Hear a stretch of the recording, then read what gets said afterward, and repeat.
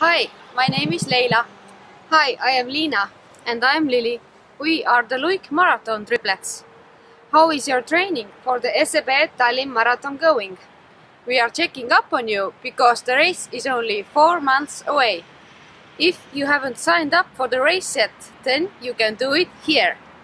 And if you are on the start list, then we will see you in four months. Come and join us! Woo!